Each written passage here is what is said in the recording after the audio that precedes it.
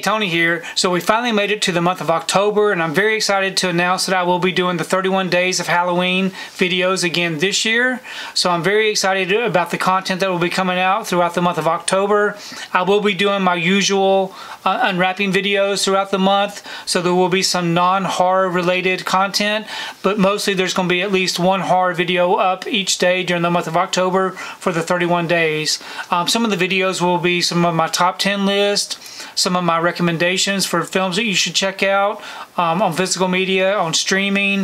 Um, I'll be also doing a weekly video on what I've watched during the month of October because what I watch during the month of October are all going to be horror um, Halloween type related films.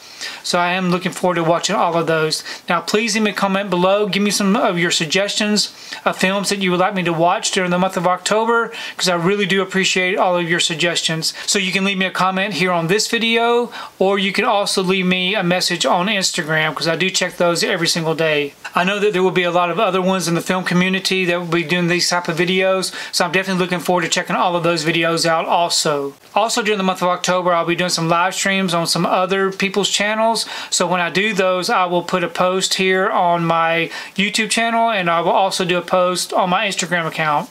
So be looking forward to that. So hopefully you're all excited about all the things that are happening in October and I do look forward to seeing you again. I'll see you next time.